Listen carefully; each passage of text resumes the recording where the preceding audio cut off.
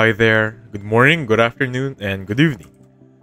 So on this video, I'm gonna teach you how to find the best video player for Windows. So right now, as you can see right there, I have 5 tabs here because we're gonna rank them top 5.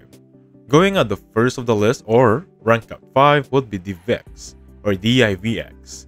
Some would call us DivX. Anyway, DivX is one of the first video player. Personally, I've used this before, and it claims to be the first on HEVC format and support all popular formats such as MP4. I think they also support MKV, that is for OBS. And by the way, regarding OBS, please check my video on how to use that. Anyway, the only cons for this one is it is played by ads. It is ad supported. So whenever you open up your video player, such as this one, especially if you're watching long movies for two hours or an hour and a half. Ad supported, especially when you're logged into the internet, they will pop up on your screen. That's the only cons here. Anyway, it's for free, and the latest version of DivX is right here, DivX 11. And to be honest, I cannot really see the pricing as of now, so I had a screenshot, took a um research about it, so let me just pull it out. So there we have it. So for the free trial, you're gonna have these features. For the Cloud Connect and especially for the Video Pack and DTS plugin, you're gonna have a 15 day or 2 weeks trial. For the DivX Pro, you're gonna have everything of course. So these are the difference and how to use them. Now moving on to number 4, let me just go to right now. So on the number 4 list or 4th of the list would be GOMLab or GOM Lab.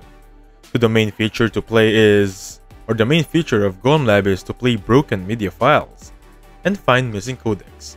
I want to highlight that again.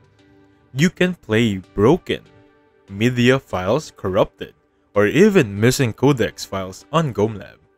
And the movies and TV regarding this one is no problem at all. Now if you go on the business tab right here, basically this is gonna be the pricing. You're gonna have a one year license for this one.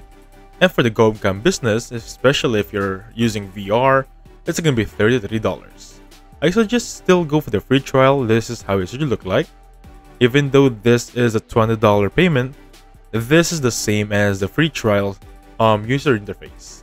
Again, before I move on to the next one, just want to let you know that it can play broken media files. That is pretty awesome. Anyway, moving on on the third of the list, it's going to be called Movies and TV. Currently, I am on the Microsoft App Store as of now. If you're familiar or you're running Windows 10 or 11, Movies and TV is probably on your operating system as of now, and it should look like this.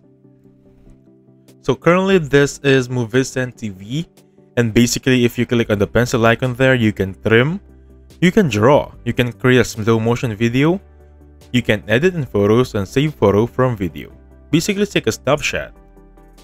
And you can advertise everything here. For example, if you open up the movies and TV and you're not really watching, there is a list like this one right here, the screenshots. There is a list of movies you can watch inside it.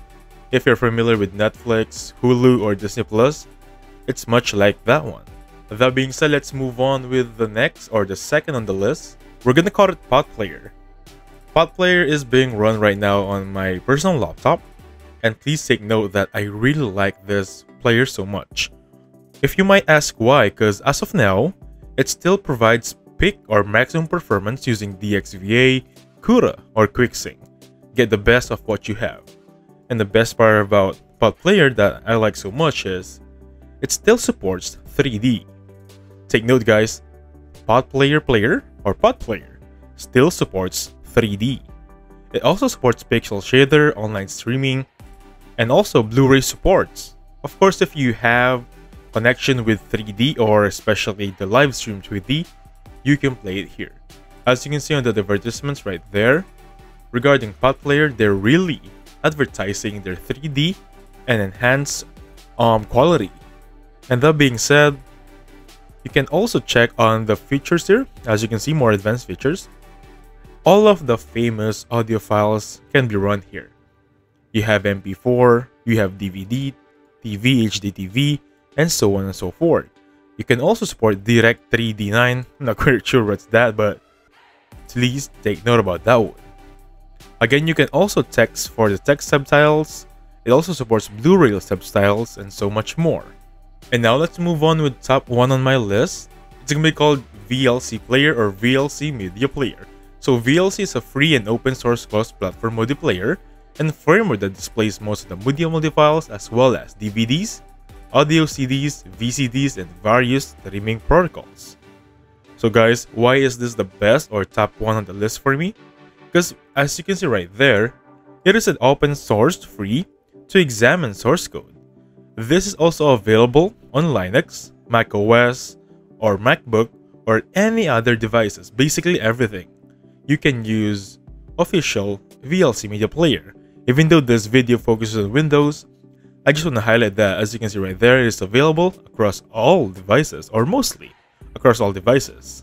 It can play anything without the need of additional codecs, that's also one thing that I love about this one.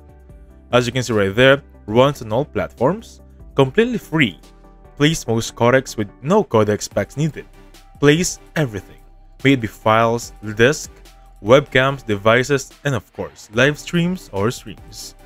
You can also create your playlist here, convert files, and again guys, you can play your disc. Pretty awesome, right? So those are the top 5 for me and VLC is the top 1. That being said, thank you so much for watching. Please hit the like button subscribe. I'll catch you guys on the next one. Goodbye for now.